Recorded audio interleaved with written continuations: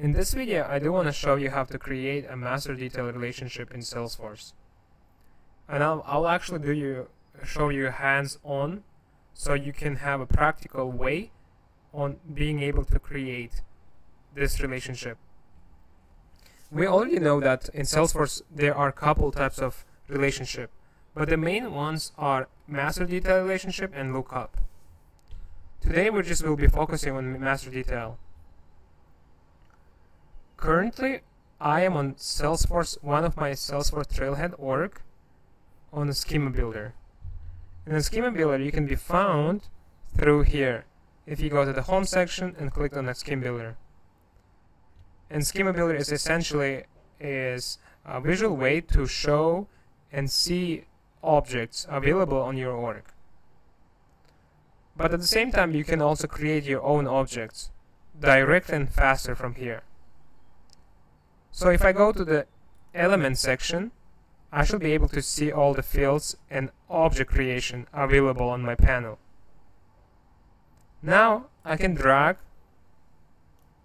object and name it as job. For plural, it will be jobs. Let's keep everything the same. Description, let's keep this on default. Let's save that. Way quicker, right? Okay, we created a job. So this will be our um, parent. We also will create another object. Let's drag that and name it is as applicant. Essentially, you will have job, one job or several job, and then for each job there will be children, and then basically people applying for that job, which we will call them applicants, right? Okay, currently they don't have any relationship between each other. Okay. So let's make a quick connection.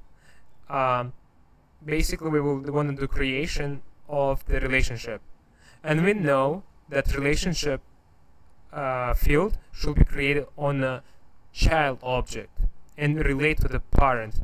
So we'll be creating um, this field, uh, in this case, master detail relationship on applicant.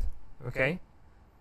So I'm gonna go to the backend and look for the child, which is applicant.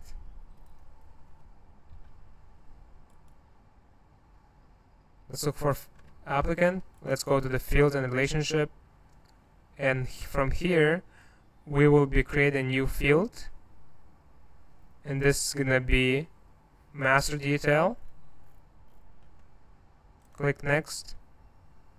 In this section, you want to show where you want to relate it to. So we will find job. Click next. Field name job, help. So it's going to be displaying as applicants.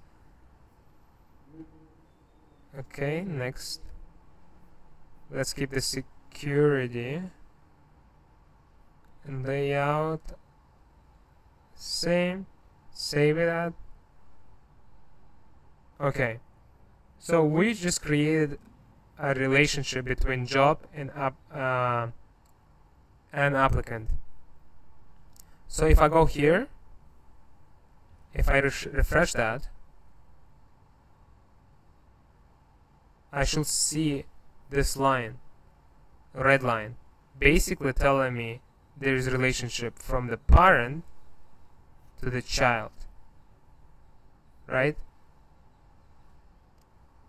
so that's how you create a relationship between these two objects. Okay that's kind of quick video. Hopefully it's helpful. Uh, let me know if you have any questions guys. Thank you